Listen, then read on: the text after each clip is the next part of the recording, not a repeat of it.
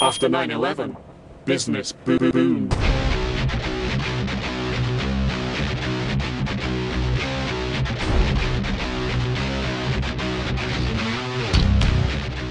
Blackwater is a sleek, glossy, fast-moving sports car in the world of private security companies.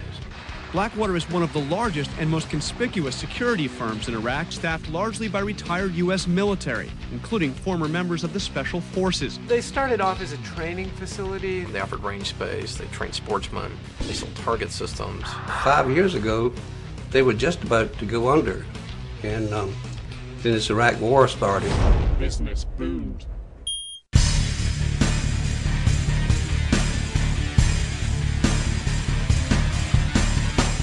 Blackwater is the brainchild of camera shy multi millionaire Erik Prince.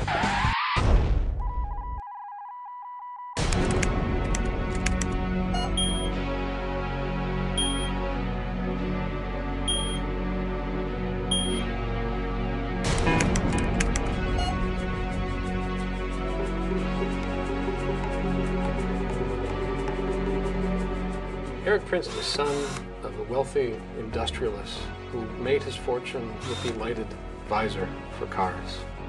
Prince himself is a former Navy SEAL. On a carrier, he saw how peacekeeping operations were conducted. He thought he had a better idea. He could privatize some of those things. He called the company Blackwater because of the, the waters that ran through the creek stained with tannins. And there's also bears on the property, so he used the bear paw and the sniper scope.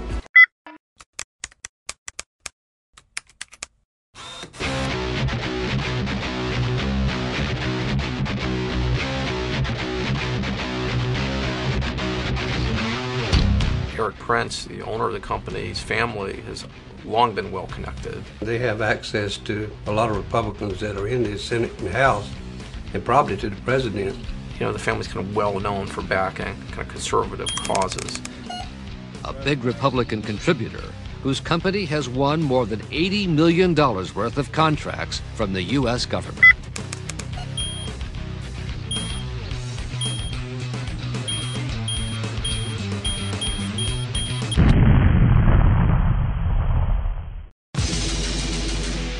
We have gone beyond the legitimate use of these people to use them as stopgap measures where you get into real legal and ethical and moral questions. Hey,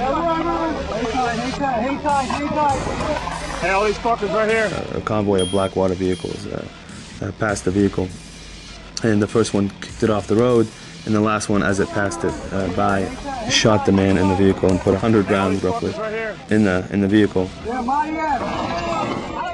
Uh, turned out the man just finished dropping off his two sons uh, at one of our bases, Taji, uh, because they were part of the Iraqi uh, National Guard.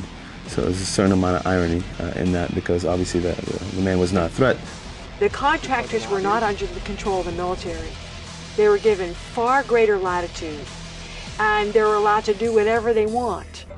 Certainly, that did not do much for the American image. That did not win the hearts and minds of the Islamic community. Fucking niggers. The company says it can assemble hundreds of battle ready men, a small private army at a moment's notice. to have a private army, that's a frightening concept and one that really, I hope, you know, doesn't take hold in this country. All we train in a group of people back here that is a black army. Such a possibility of being so out of control with no checks and balances, there's just no limit to what could happen with that kind of organization and with the kind of training that they have. Just taking cover, you got more coming. Jesus Christ, it's like a fucking turkey.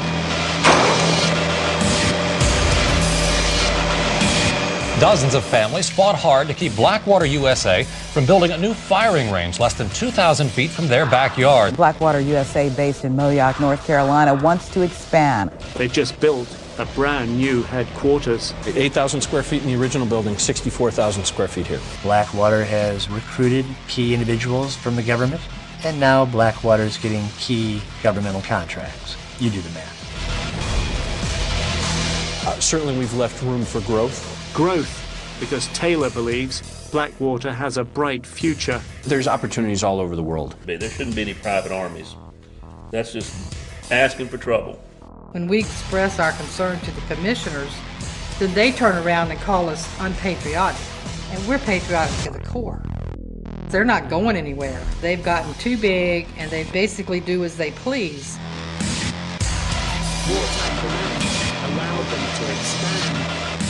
Wartime demands allow them to expand. Wartime demands allow them to expand.